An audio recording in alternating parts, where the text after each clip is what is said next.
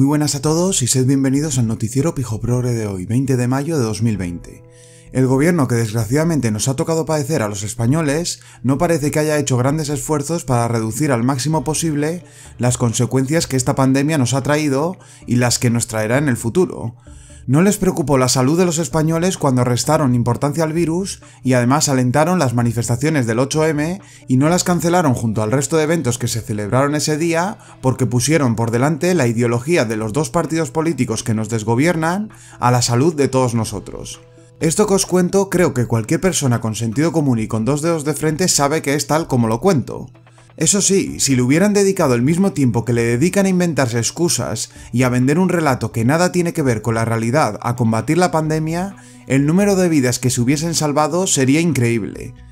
A este respecto, por ejemplo, ayer conocimos algo que era un secreto a voces a través de Fernando Simón, que reconoció que no se recomendó el uso de la mascarilla porque apenas estaban disponibles en todo el entorno europeo y en aquel momento prácticamente solo se producían en China. Y tan tranquilo que se quedó el tío. Eso sí, seguro que no estaría tan tranquilo si esto mismo se lo dijera a la cara a un familiar de alguna persona fallecida por su gestión negligente y por todas las mentiras que han dicho tanto él como cualquiera de los ministros que forman este gobierno. Pues bien, como os decía, no hay nadie en el mundo que lo haya hecho mejor que este gobierno buscando excusas sonrojantes para explicar la virulencia y mortandad con la que la pandemia ha afectado a nuestro país. Que si estamos más al este, que si hay muchos viajeros, que si nuestras costumbres sociales... Todo para esconder que países con los mismos turistas, el mismo apego por el roce y más cercanos a Italia o China tienen infinitamente menos fallecidos porque simplemente tomaron medidas antes.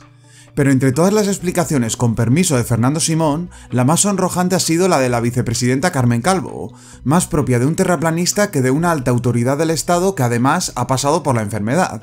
Primero fue la ministra de Transición Ecológica del Gobierno de España, Teresa Rivera, la que dijo que Portugal paró antes el virus porque venía del este y ellos están un poco más al oeste. Y ayer Carmen Calvo sorprendió a todos diciendo que el virus había golpeado más en España porque Nueva York, Madrid, Teherán y Pekín están en línea recta. Y es que al parecer, según Calvo, el virus solo sabe viajar en línea recta, y eso aclararía por qué España tiene casi 40 veces más víctimas mortales que Grecia. Es difícil de creer que toda una vicepresidente sea capaz de sostener esa teoría en sede parlamentaria, pero ahí tienen el vídeo para comprobarlo con sus propios ojos. Con esta señora ya llueve sobre mojado, no en vano fue ella quien dijo otras frases célebres como que el dinero público no era de nadie y también confundió la expresión latina Dixit con los ratones Pixie Dixie.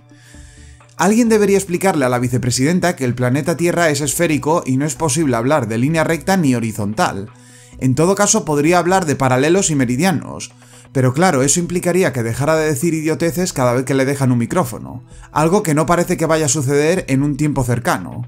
Al final, para saber los motivos por los que nos ha golpeado tan fuertemente la pandemia, no hace falta más que echar un vistazo al Consejo de Ministros y darse cuenta de que a la gran mayoría no les permitirían trabajar en cualquier empresa privada, ni aunque pagaran ellos mismos por hacerlo, a estas alturas lo menos que le podríamos pedir es que si no saben de lo que hablan, se estén calladitos, dejen hablar a los expertos y no nos abochornen más.